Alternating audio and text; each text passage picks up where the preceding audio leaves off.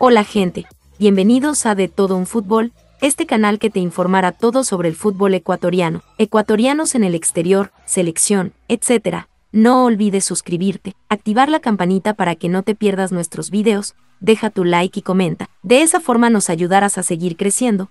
Cuento con tu apoyo, sin más empecemos. Oficial.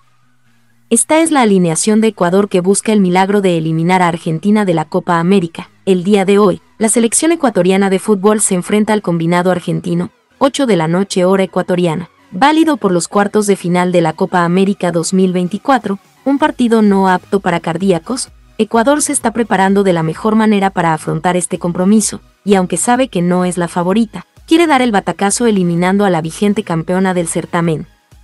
Félix Sánchez podría jugar su último partido con la selección, ya que todo apunta a que luego de la Copa América se irá para dirigir en el fútbol de Qatar, y este también podría ser el último partido de Ecuador en la Copa América, ya que es un pierde-sale. Si perdemos le decimos adiós a la Copa América, y por tal motivo, la selección ecuatoriana de fútbol al mando de Félix Sánchez tiene lista la siguiente alineación para enfrentar a Argentina, en el arco Alexander Domínguez, línea de tres con Godoy Pacho, Félix Torres y Joel Ordóñez, lateral por derecha Ángelo Preciado, lateral por izquierda Piero Incapié, en el medio Moisés Caicedo y Alan Franco, para que el ataque lo comande, Jeremy Sarmiento, Alan Minda y N. Valencia. Con esta alineación la selección ecuatoriana de fútbol afrontaría los cuartos de final de la Copa América versus el combinado argentino. Es una alineación interesante volviendo a la línea de tres, tomando sus recaudos sabiendo que al frente tienen a la considerada mejor selección en todo el mundo, vaya que se viene un partidazo y un lindo desafío para Ecuador. ¿Y qué opinas de todo esto?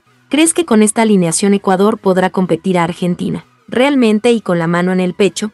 ¿Crees que Ecuador pueda lograr el milagro y eliminar a la selección argentina?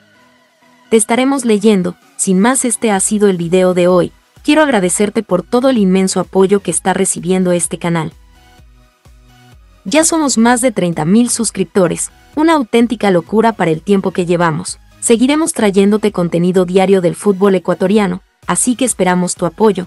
Síganse suscribiendo para seguir creciendo en esta hermosa comunidad. No olvides activar la campanita para que no te pierdas ninguno de nuestros videos. Te deseamos muchísimos éxitos en todo lo que hagas y nos vemos en una siguiente ocasión. Un saludo, adiós.